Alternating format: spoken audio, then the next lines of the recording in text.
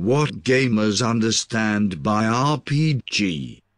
What people who say video games cause violence understand by RPG?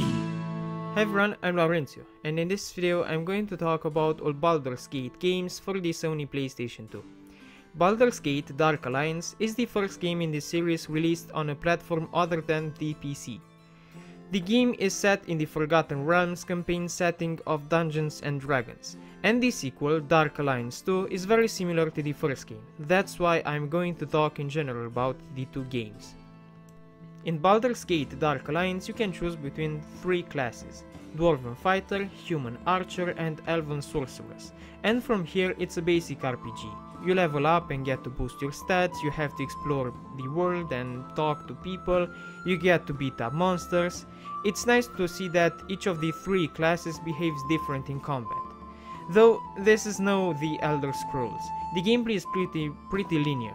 There are some optional side quests here and there, and there are relatively few NPCs to encounter. But the graphics are eye-catching, and in some places even gorgeous, especially when you look at water and fire effects, and the gameplay is solid.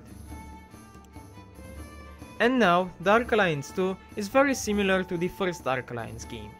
That was the main complaint of the fans when the game came out. As differences though, between Dark Alliance 1 and Dark Alliance 2, now you get 5 classes to choose from, not 3. You get Human Barbarian, Drow Monk, Moon Elf, Necromancer, Dwarven Rogue, and Human Cleric.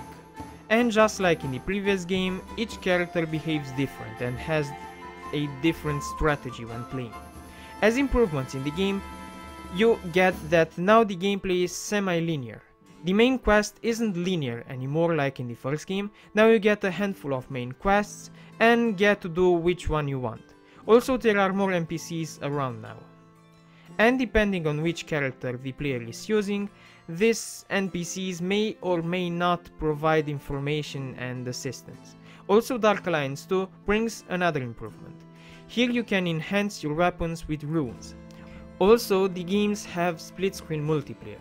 You share the same screen and all experience points and loot is shared 50-50 no matter how well one plays compared to the other.